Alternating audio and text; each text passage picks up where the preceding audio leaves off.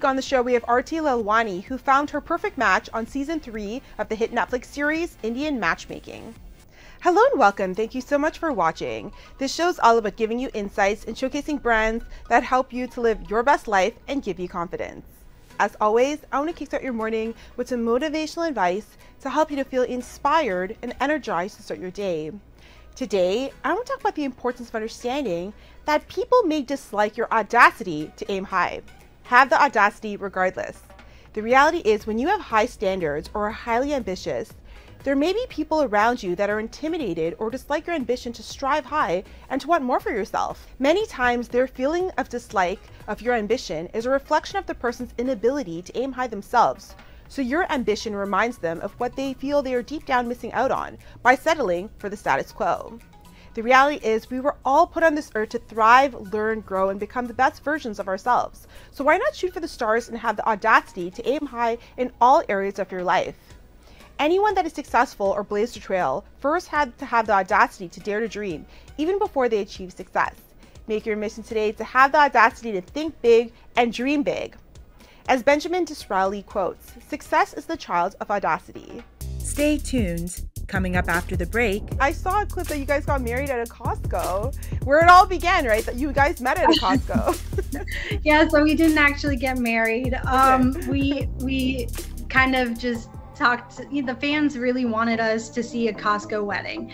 Um, costco became a big part of my story my journey. I truly do love costco maybe not as excessively as it sounds like i do um, but i do. And so you know what? We we took this leap of trying to make some some content of getting married at Costco or having a wedding there because that's what people have been asking for. Um, and let me tell you, it was probably the most embarrassing thing because we picked a weekend. It was so crowded. We were getting looks left and right. People were like, "What is going on?" I, some people were supportive, some people were not. Um, there was a lady that worked there that wanted to catch my bouquet, which was super oh, wow. cute. but yeah, we didn't get married there. I still need my my full Indian wedding, but we we had fun filming that. Wardrobe provided by Le Chateau. Next up on the show, we have Arti Lalwani, who stars in season two and three of the hit Netflix series Indian Matchmaking. If I were to describe myself, I would say desperate, please help. Matchmaking is a job that will never be finished. Ah, we are just busy, busy, busy. Funny guys win. This is why Pete Davidson wins. I want you in I've never opened up with anybody. So whom are you going to meet first? Aarti, thank you so much for being on the show today. How are you doing? I'm great. Thank you so much for having me. I'm super excited. Thanks for being here. I'm actually a fan of the show. I watched all the seasons and I liked you particularly. So that's why I wanted to have you on the show and kind of talk about your journey. So let's talk about it. What made you want to take the leap of faith and find a matchmaker? Yeah, so I actually started this process early 2021. Mm-hmm. Um, and I was very single. I was living in a city where I felt like I had gone through all the men and I've dated everyone and I saw them on an app and I was just so tired of it. Um, and it was one of the compromises I actually made with my dad was that, you know, I would uh, give dating, you know, Indian men another shot. And so when this opportunity came up with working with Seema Auntie, I had never done it before. My parents had an arranged marriage. They're used to working with the matchmaker. So I thought it would be a good experience. Mm-hmm. And were you nervous at all knowing that your whole journey and story would be kind of documented on Netflix, or was this something you were excited about? Um, so as you said, I saw the show. I was kind of a fan uh, as well, and I was just one of those. It was just one of those opportunities where I was like, okay, let's do it. And then throughout the the filming process, um, I truly forgot that there were cameras. I forgot there were mics, which you know ended up being kind of a hard thing to go through when you start becoming very comfortable with the camera and the mic and you forget that you say certain things. Um, so yeah, it was just a very, it was harder to watch it back than go through the experience. Yeah, and how was your experience? I have to ask. I thought it was a great experience. Um, working with Seema was um, it was perfectly fine. I did all her dates that she suggested, and it was all great. The only time that I had an issue um, was really when Seema Auntie was telling me that I needed to marry someone because there was an 80% match and I yeah. don't know where that percentage came from nor did I agree nor was there a connection. And did I feel like I was going to marry someone based on that? Um, and then we got into a bit of an argument because you know I feel like she doesn't understand the concept of um, an independent woman living in America that provides on their own um, and wanting certain aspects of that. And that's kind of where we got into it Mm, I feel if, if I was on the show, I would be the exact same way because I'm very non traditional. And that's what I liked about you that you're non traditional and you know, you stick to your standards uh, with Seema. You were like, no, this is what I want, and that's it. How do you think kind of sticking to your standards was your biggest asset when finding love? Yeah, I I preach very heavily self love. Um, it's something that has taken a long time for me to go through. Um, and when I feel like you love yourself, you can say no to any Joe Schmo that comes at you. You can absolutely demand what you want. Um, and when you feel like you're in a really good place with yourself and you know what you're looking for and what you're willing to put up with, I think the opportunities come and it's easier for you to say no to the people that are not right for you that end up being toxic in your life that drag on for years and the right people that do enter you you immediately find attractive to yourself. Yeah absolutely and i know she did set up uh, quite a few dates. Um, you know what was it like kind of keeping an open mind but also honoring yourself in the process? Because she was pretty set on the matches she made for you and also as you said like saying well you're only going to get a percentage of what you want so you're going to have to deal with that. Yeah so that that's the hardest part is because i did try um, all her matches. I went out with all three guys. I went out with them even you know more than she even knew. Um, and one of them we did we did try dating. It just was we were not in the right place for each other. He was not the he was not in a committed setting which is what i wanted. Um, and so it was just not going to work out. Um, and unfortunately you do have to be aware that there are people that are that know the show that know what this entails and and they're doing it for that aspect. When i came into this i had truly pure intentions of finding a match um, and I went through so much during the filming process because it was two years that I grew even with that process. So it was it's hard to to fight back with with Seema and tell her what you want, but when you know what you want, it was it was easier to be like, nah, that's not working. And it paid off. I mean, you found your match on your own, Jamal. You guys are such a great match. I love how supportive he is, for, like to you, and that he loves the strong woman. He likes you for who you are. So tell us about your journey on finding love with uh, Jamal. How did it start?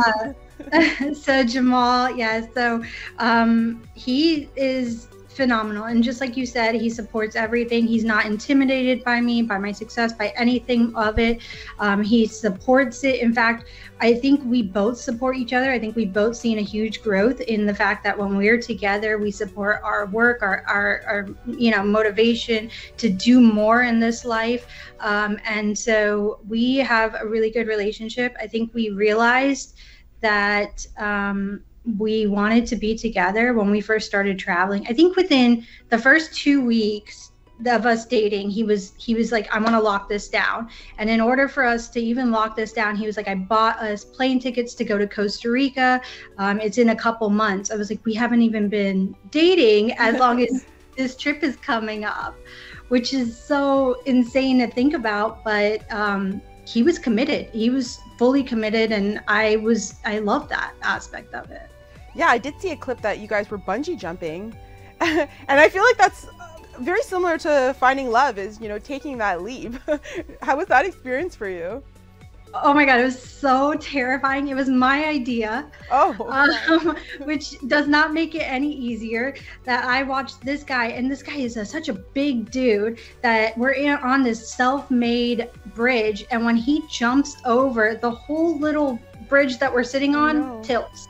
Oh, wow. Uh, so it was so terrifying. He did it very instantly. I could not do it. It took me three minutes of just like talking to myself and doing it.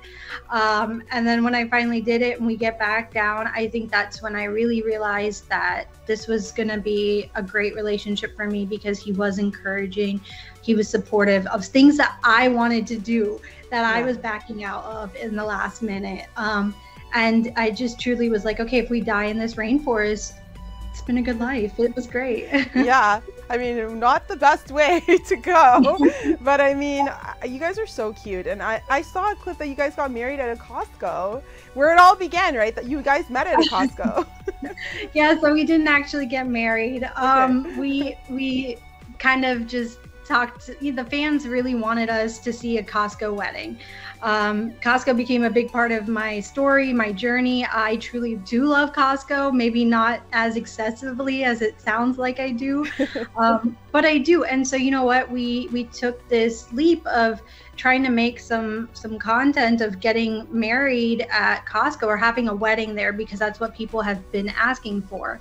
Um, and let me tell you, it was probably the most embarrassing thing because we picked a weekend. It was so crowded. We were getting looks left and right. People were like, "What is going on?" I, some people were supportive, some people were not. Um, there was a lady that worked there that wanted to catch my bouquet, which was super oh, cute. but yeah, we didn't get married there. I still need my my full Indian wedding, but we we had fun filming that. Costco better sponsor you. Honestly, they really should, and they should pay for your wedding because I mean that's a great advertisement. And who doesn't like Costco? Right. I feel like when you go there, you just keep buying things and you just it, you stay there for hours. So I, I share your love for Costco there. and Arti, what did you learn about yourself in this whole process? Because I mean, I feel like it, it's quite the journey being on two seasons. Yeah, so I learned, so I went through um, a little bit of uh, grief right in the beginning of filming, um, which for me really re- made me realize that I truly was invested in this process. I wanted to find someone. I my job will always be there. My work will always be there. I'm always going to be replaceable in that field. But at the same time, I want to live my life with someone. I don't want to be alone watching, you know, my mother go, navigate now a life alone by herself was truly difficult. And I realized that I wanted to commit. Um, and so when I w- went on these dates after dealing with all this grief and still dealing with it, um, I was very particular in what I was looking for. I was weeding out people left and right because I was so committed to what I was looking for. Um, and then I, I, I believe in manifestation and I really put it out into the universe about what I wanted. And I even said it at the mixer. I wanted to meet someone at a grocery store. I wanted to have that mundane sort of life. Um, and that's what I was looking for. And the fact that I somehow am able to manifest and will what I want has taught me that this journey is like your life is constantly moving on and there are very important things in this life and you have to make time for what's important. Absolutely. And you know i wanted to actually send you a message on father's day to say that i'm sure your father would be so proud of you and that you know you took the leap you did things your way. I didn't want to send it because i was like is this weird? Maybe i'll tell her in person when we have our chat. But i wanted to say that i'm sure he's so proud of you and you know how you followed your heart I think that's something that, you know, every parent aspires for their kids, right? And to be genuinely yeah. happy. So, yeah, and I want to talk about self love. You talked about self love and manifestation.